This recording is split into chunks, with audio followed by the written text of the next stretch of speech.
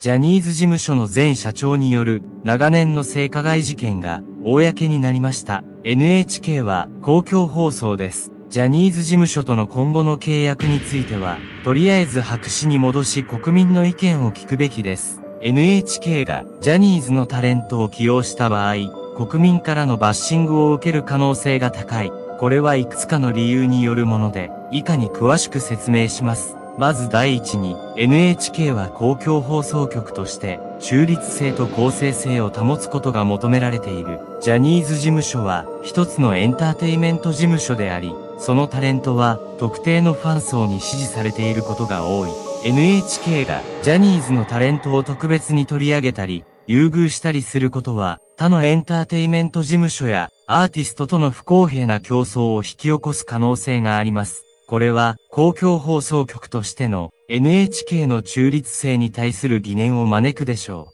う。第2に、ジャニーズのタレントは一部のファンに熱狂的に支持されているため、その影響力は非常に大きいです。NHK がジャニーズのタレントを取り上げることは、他のアーティストやエンターテイメント事務所にとって不利益をもたらす可能性があり、これに対する反発が起こるでしょう。さらに、公共放送局である NHK は、国民全体の利益を考える必要があります。国民が NHK の受信料を支払っている以上、その放送内容は多様性と公平性を尊重する必要があります。特定のエンターテイメント事務所やアーティストに過度に焦点を当てることは、国民の多様な利益に対する不満を引き起こす可能性が高いです。前社長の性加害事件が発覚した以上、NHK がジャニーズのタレントを起用することは、とりあえずは中止すべきでしょう。NHK は視聴率に関係なく、国民から受信料が入ります。NHK は国民全体の利益を代表し、